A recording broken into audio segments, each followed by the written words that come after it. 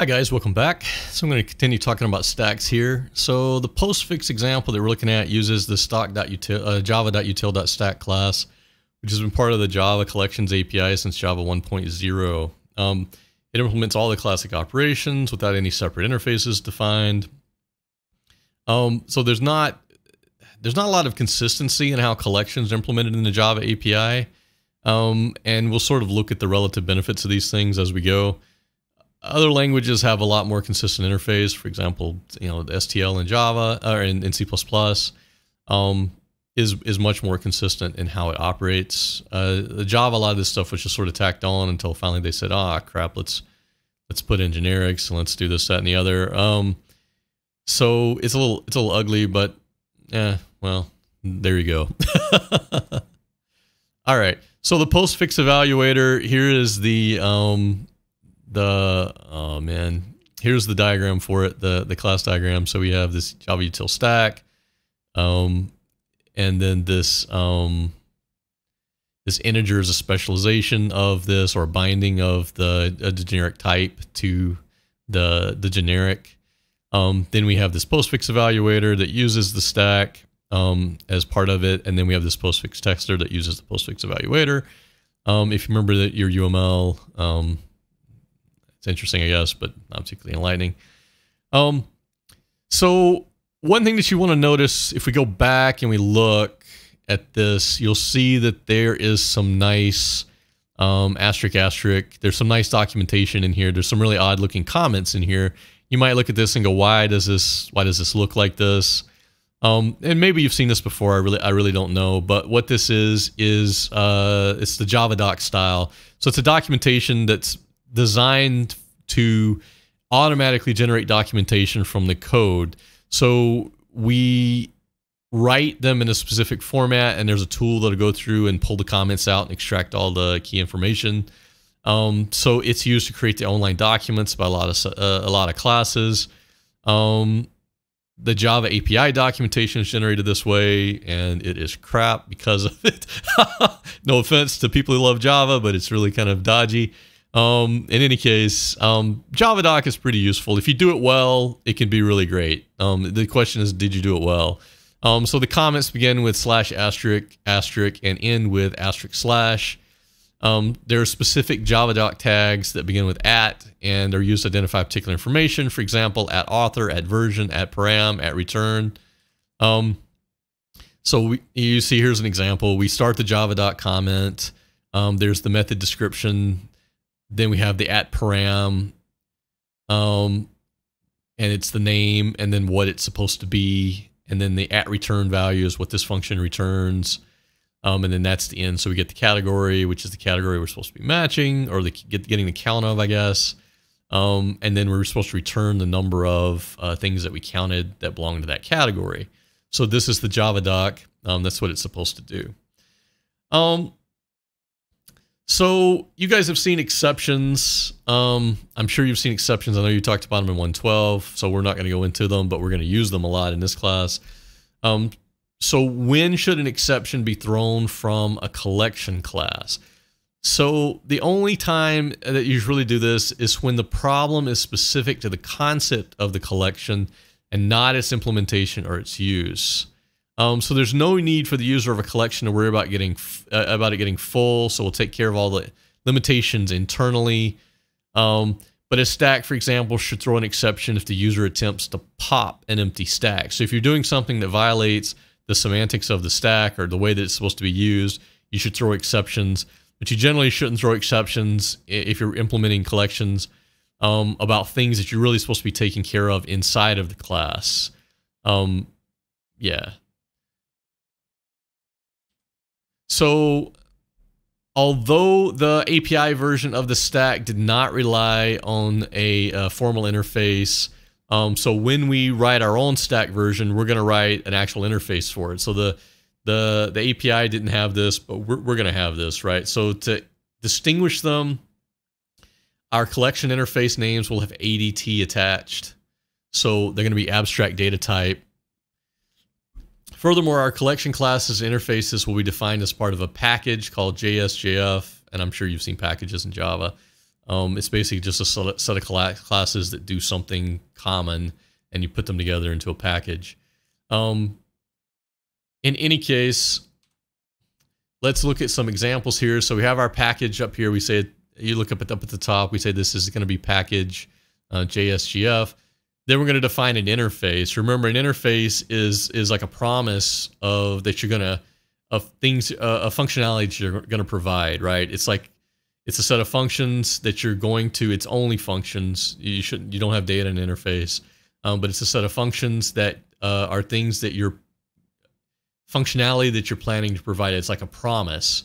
And anyone that implements that interface should implement those. Now, how you implement them um, is up to you, but they should do what they're promising that they're going to do. So here we're going to have an interface. We're going to say this is an interface, stack ADT, and it's a generic, right?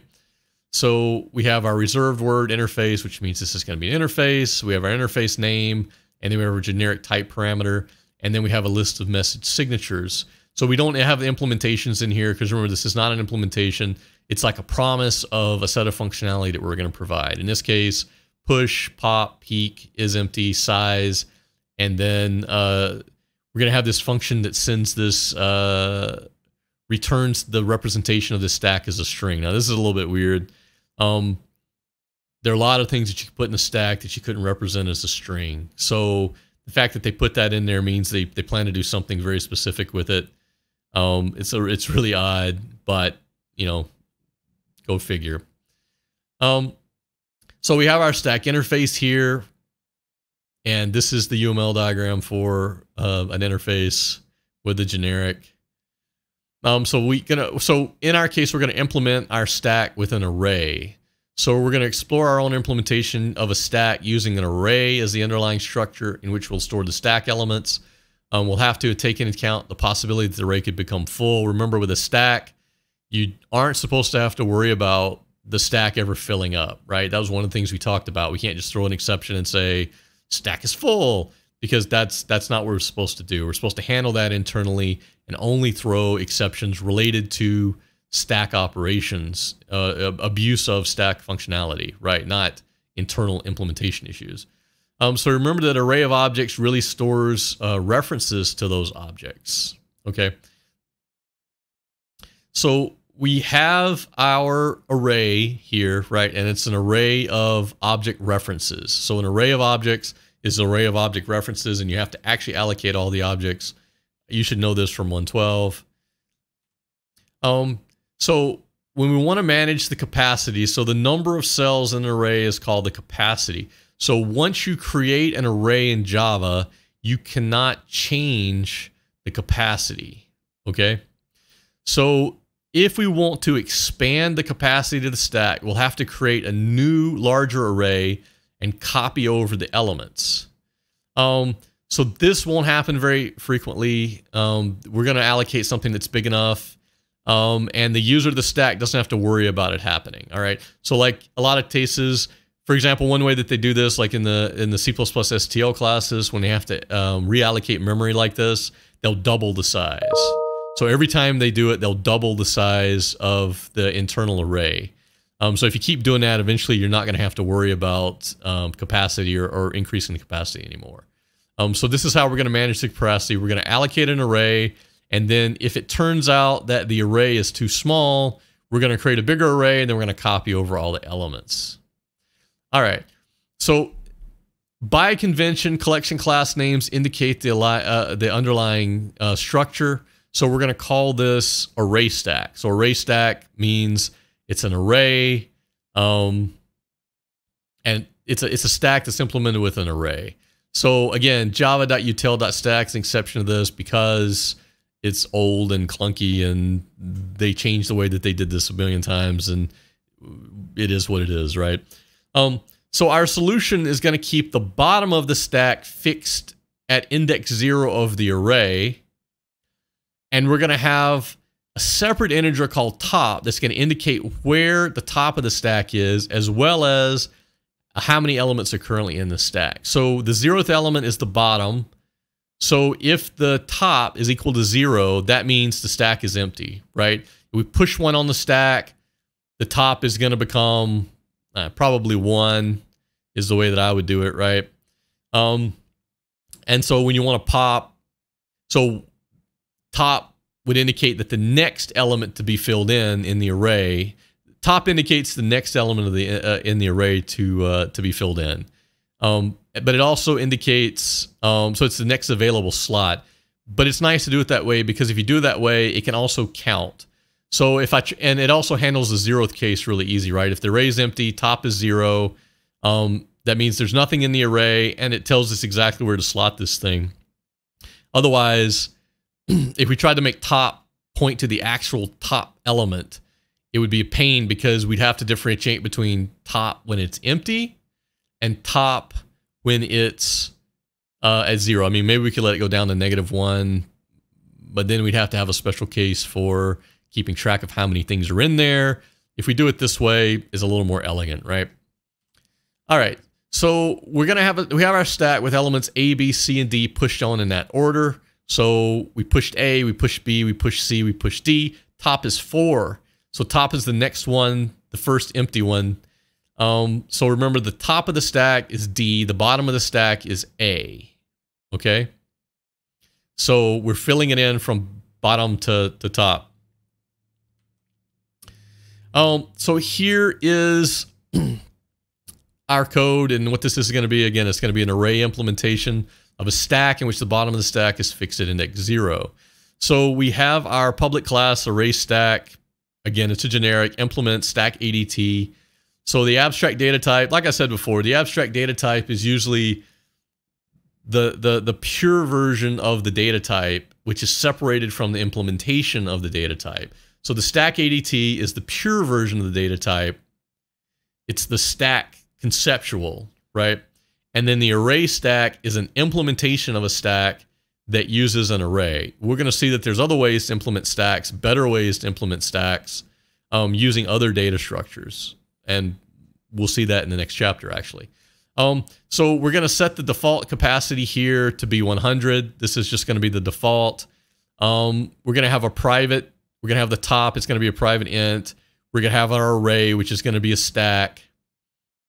Um, we're going to set an empty stack. We're going to create an empty stack using the default capacity. Um, if you have a constructor, I, I don't know if you've seen this in, in, in, in Java, but what we basically have here is we have two constructors. One of them takes a parameter and one of them doesn't take a parameter. Um, when you we take the parameter, the capacity, we, we set the initial capacity for the stack. So maybe we have some idea of how big we think it's going to need to be. Um, we're going to allocate the array right here. It's going to be new objects um, of initial capacity. And this T here is going to be, um, so the type, the generic type for the stack is going to be here. So whatever type of stack this thing is, we're going to cast this to that type.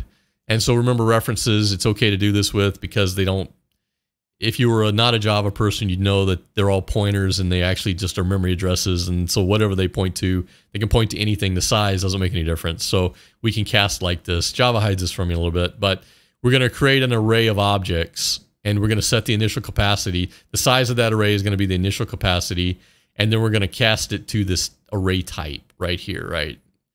Um, and we can do that, no problem. So what this constructor does is um, if they don't pass in an initial capacity, we're going to call the um, constructor that does take an initial capacity and we're going to pass in the default capacity. So we're really, we don't want to write the constructor twice because if we make a, a, change to one of the code somewhere, then we're going to have to change two constructors and that's going to be a pain. It's a maintenance problem. So what we're going to do is instead, we're going to call the final constructor here. Um, we're going to call the constructor that takes a capacity, the one that, that's the good one that we want to use. And we're just going to, if they don't give us a capacity, we're going to have a default capacity. Um, again, I don't know how much of this stuff you've seen and you haven't seen, but this is a, this is a really common thing for people to do with constructors. Um, so you can't instantiate an array of a generic type directly. So what you instead you have to do is create an array of object references. Again, like I mentioned before, and you have to cast them to generic type. So an object reference all references are the same size in memory. They're just a pointer basically to the memory where the real object is, right? So I have the object, it has a memory address. Again, Java people probably aren't thinking like this, but I have an object that has a memory address. The reference is basically stores the memory address where that object lives, right? So the size of every reference is the same. The thing that's stored in the reference is not the same size, but the size of all the references are the same, so I can cast them to this type. So I do this in my stack. I say stack equals t, and I do this cast to the generic type. But what I actually allocate here is an array of object type. Remember, object is the base type for all objects in Java. Everything has an object type at the very bottom. Um, so we're going to look at this. So we're going to add the specified element to the top of the stack and expand the array if it's necessary. Um, so here we have our push. Um, we're going to push this element and the type, of course, is the generic type. If the size is equal equal to the stack, stack length, we're going to expand the capacity.